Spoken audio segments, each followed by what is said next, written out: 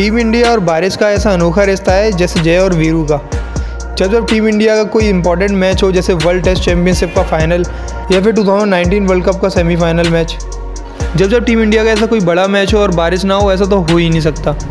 और वो भी जब जब कोई मैच इंग्लैंड में खेला जा रहा हो तो ऐसा होना तय ही है। ऐसा ही हुआ वर्ल्ड टेस्ट चैम्पियनशिप में। मैच का पहला दिन ही बारिश की वजह से रद्द हो गया। और दूसरे दिन भी ख़राब लाइटनिंग और बारिश की वजह से मैच नहीं हो पाया। तीस दिन जब इंडिया मैच खेलने आई तो मात्र 92 ओवर्स में 270 रन बनाकर पूरी टीम ऑल आउट हो गई। और उधर न्यूजीलैंड ने पहली पारी में निन्यानवे ओवर में दो सौ उनचास रन बनाए। न्यूजीलैंड ने दूसरी पारी में दो विकेट के नुकसान पर 45 ओवर में 140 रन बनाकर वर्ल्ड टेस्ट चैंपियनशिप अपने नाम कर ली। दोस्तों इंडिया का बारिश से जुड़ा ये बैड लक जानकर आपको कैसा लगा? हमें कमेंट करके ज़रूर बताएँ। और अब हमारे चैनल पर नए हैं तो हमारे चैनल को सब्सक्राइब कर लीजिए और आप हमें फेसबुक या इंस्टाग्राम पर देख रहे हैं तो हमें फॉलो करना मत भूलिएगा। मिलते हैं अगली वीडियो में।